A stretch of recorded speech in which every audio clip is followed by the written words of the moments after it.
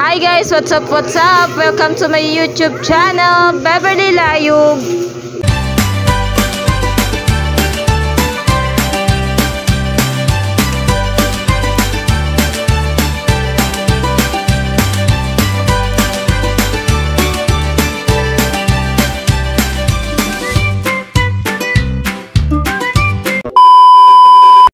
So for today's video guys, is all about Yagwan ulit. Ngayon guys, hindi na buhok ko ang kukulayan ko, kundi buhok na nambyanan ko. Dahil ang dami na niyang uban guys, tingnan nyo naman, nagsitubuan na yung uban niya. Ito pa naman ang ayaw na ayaw ng biyanan ko guys, ang marami siyang nakikitang puti sa buhok niya. Sa edad niya kasi guys, madali na talagang tumubo yung uban niya. Sign of aging ba yon? Charis. So, para mawala ang stress ng biyanan ko to the rescue ang person, syempre. Gagamitin ko na ang kapangyarihan ko, mamajikin ko na yung mga uban na yan para mawala na. Charis! Grabe yung uban niya guys, sino ba namang hindi may stress sa ganyan? Dahil marami pa akong natiram Yagwan Black Dew Shampoo, so imi-make over natin ang buhok ng biyanan ko. So, let's go! So, yun na nga guys, binabasa ko na ng buhok yung biyanan ko. Dahil para sa akin, mas madaling i-apply yung Yagwan guys, pagbasa ang buhok. Dahil bumubula siya guys habang ina-apply sa buhok, pagbasa ang buhok. Puro buhok ata. Baka may mag-comment na naman na bawal daw basahin yung buhok dahil nasa instruction daw yon. Guys, kanya-kanya tayong paraan guys. Kung gusto nyo mag-apply ng tuyo ang buhok nyo, pwede din naman. Kanya-kanya tayong diskarte guys. Ganorn. Cherries.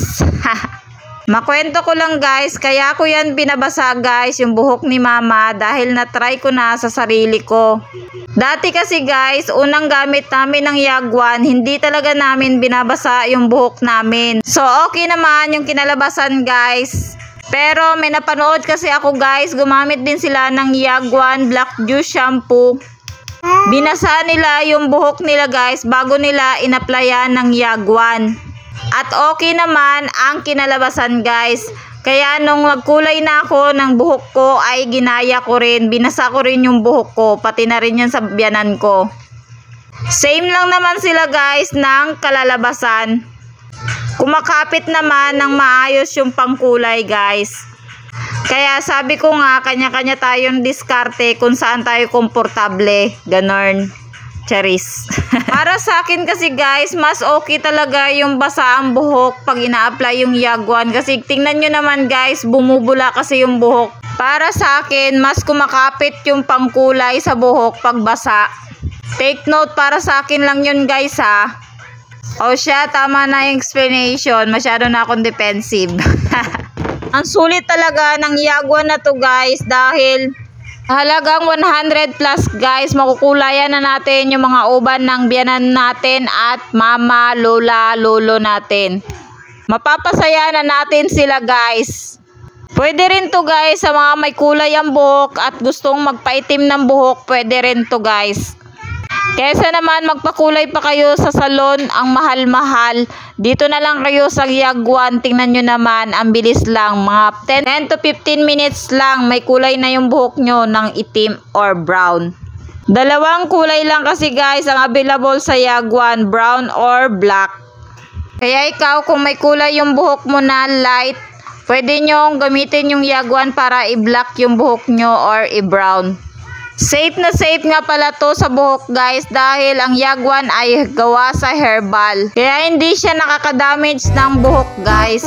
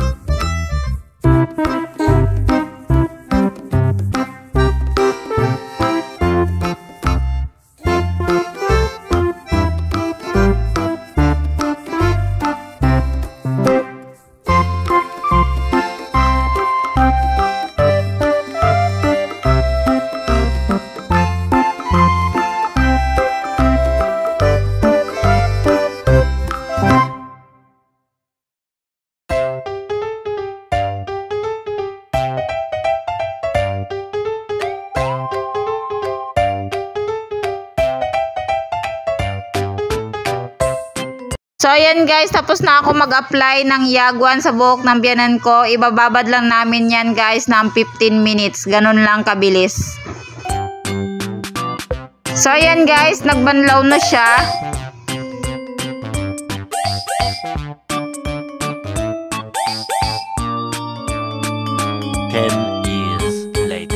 So ayan guys, pagkatapos niyang magbanlaw ng buhok at naligo na rin siya, pinatuyo na namin yung buhok niya. Ayan na ang kinalabasan. Wow! Wala nang puti ang buhok ng aking biyanan. Tingnan nyo naman guys. Itim na lahat. Wala nang puti sa dulo. So ayan. Ayan, ang ganda ng result guys ng Yagwan. At kung napapansin nyo, ang shiny rin ng buhok ng biyanan ko guys. Tingnan nyo naman. Parang buhok na ulit ng dalaga, Nax. Sana all. So guys, hanggang dito na lang ang aking video. Maraming salamat. God bless. Ingat kayo.